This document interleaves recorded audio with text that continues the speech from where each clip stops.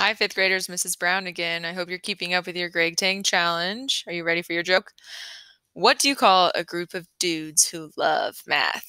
Algebros. All right. We are going to keep going with volume today, and we are starting with volume and unit cubes by decomposing shapes. This might sound hard, but it's really not. You guys have been learning how to find volume of rectangular prisms, and I want you to look at the background of this video right here you're going to see it looks like two prisms kind of stuck together.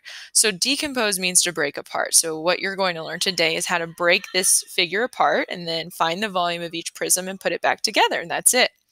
There are two videos I want you to watch. So this one first. And then you're going to watch the next one, volume three through decomposition. So again, breaking apart. So let's click there.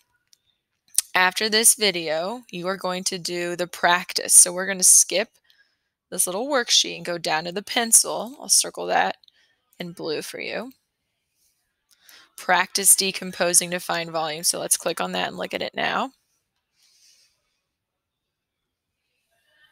So there you go. This is it. You have four problems and you're done for the day. I'll see you tomorrow we'll keep working on volume.